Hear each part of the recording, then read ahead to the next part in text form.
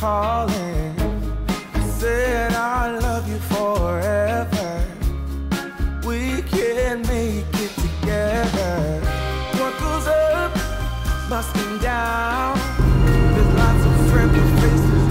Okay, we've got some materials to finish off um, living room dividing wall. I'm really excited to get this together actually because we haven't had a sofa since we moved in. We've just had like a ruined old crappy sofa that just for while we're renovating. So as soon as that's finished and it's plastered, we can order our new sofa and that'll just be like heaven.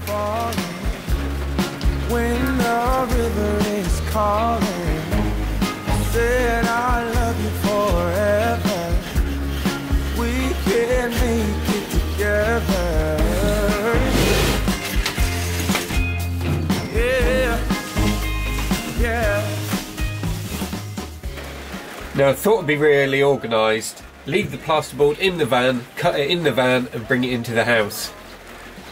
And it's just started to torrential rain.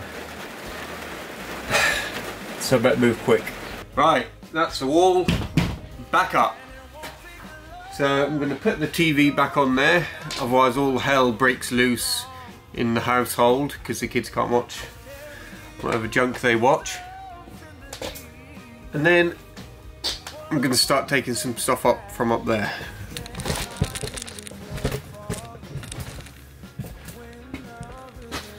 So, so at the moment, up, hang on.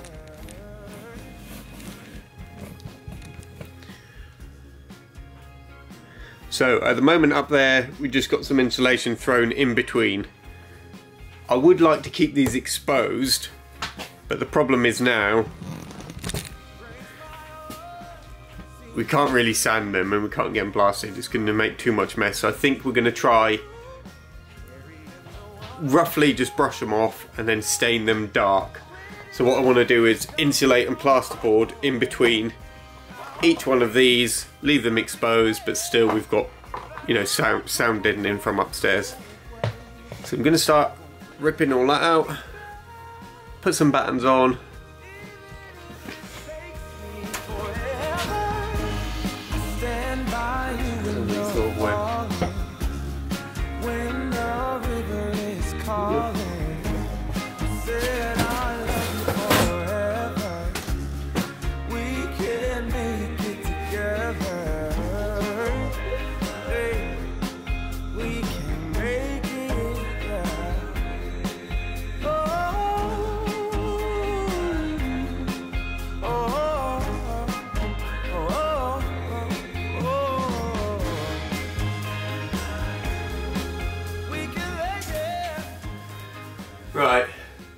now I'm just going to divide this into three and I'm going to roll it out in between all these rafters here so it's nice and insulated in between every one. Then I'll put a little batten on the side, plasterboard above that. It can be a pain doing the plasterboard because obviously these beams are not exactly straight, they go in and out and in and out a bit. So you're kind of holding it up there and shaving a little bit off each time so we'll see how that goes.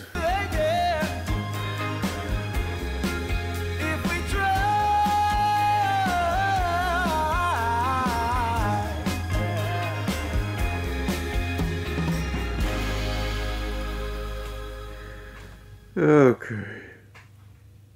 If I never have to see or touch another piece of itchy insulation ever again, I'll be happy. So the idea is this little wooden batten on the side of each beam, and that will give me enough to screw a bit of plasterboard onto there. Neaten it up, stain these beams a nice dark stain. Voila.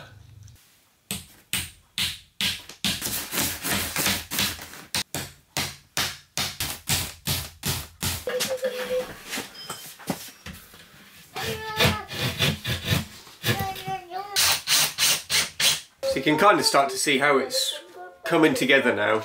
So one thing that could be interesting or maybe not, we don't know yet. So you might be able to just see here is where the fireplace was. Now, what we're kind of thinking is when we take all the plasterboard off, we could leave the fireplace exposed.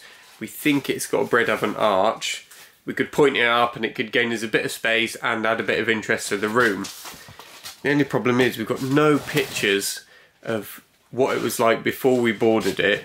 I've got a sneaking suspicion it was kind of all concreted out, but we really can't remember, so... So Annalise is having a fit because I made all this mess and our trusty Henry Hoover has now died. So there's no way to clean it up. So we just contacted a friend. We're going to go meet them, pick one up to borrow to get all this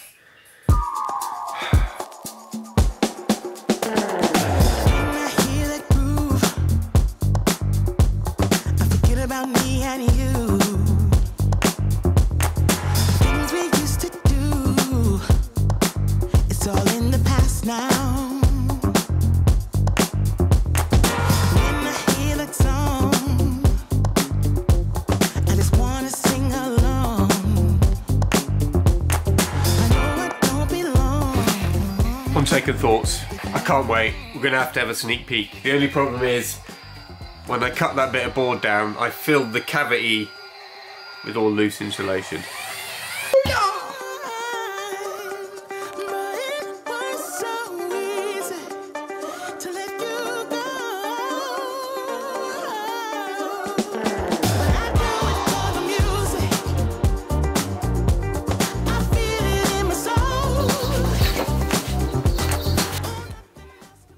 Okay, so sort of good news. Found the old bread oven, or the, the hole for the bread oven.